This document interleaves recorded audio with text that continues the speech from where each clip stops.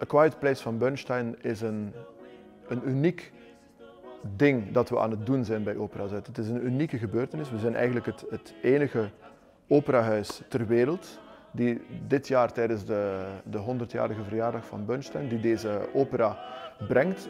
Los daarvan is het een opera die zelden tot nooit geprogrammeerd wordt.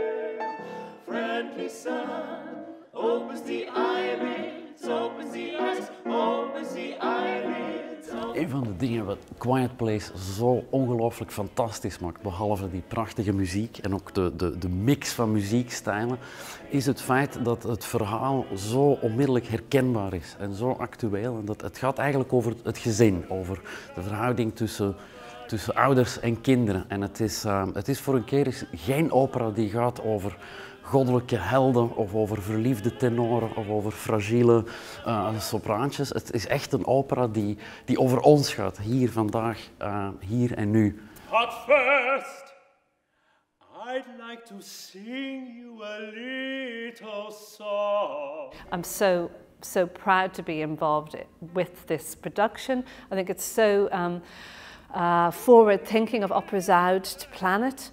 It's beautiful, it's ugly, it's poetic, it's very normal. Um, it's written in the vernacular, so we have lots of real language and real um, uh, conversations happening that are completely credible. Um, it's full of pathos, but it's never sentimental.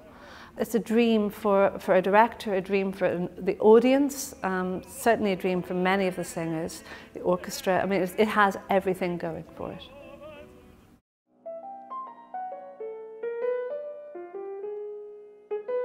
Skiddly day, skiddly day, ratty boo.